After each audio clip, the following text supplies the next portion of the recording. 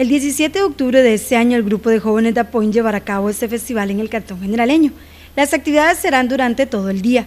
Con el fin de coordinar todos los detalles, es que ya el grupo de jóvenes organizados están en los últimos detalles, reuniéndose con funcionarios de la Municipalidad de Pérez Celedón. La intención de los muchachos es iniciar a las 6 de la mañana con una serie de actividades en el Polideportivo de San Isidro del General ese día.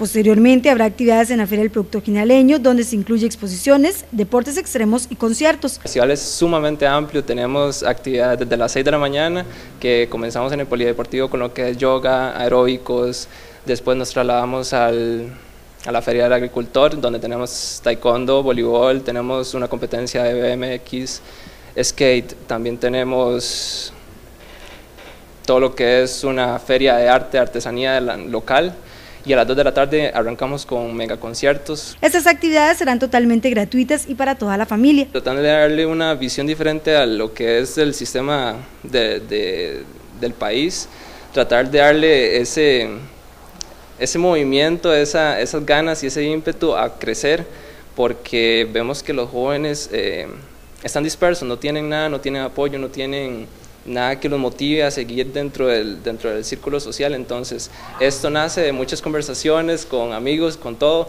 y nos dimos a la tarea de que, oh, usted estudia abogacía, usted es productor, usted es esto, usted es el otro, unámonos, creemos algo grande, y de esto nació, nació A Point y van a ser Ecotour. Realmente se encuentra personas involucradas desde San José, de diferentes partes del país, no solamente de Pérez León. También se involucra lo que es la juventud de Pérez, gente adulta de Pérez, adultos mayores, realmente a toda una familia que se venga a divertir de estas actividades. La intención del Ecotour es que se convierta en una actividad de sana recreación para toda la familia. Realmente son actividades de sana recreación y de actividades para toda la familia, desde niños hasta adultos, como lo acabo de decir.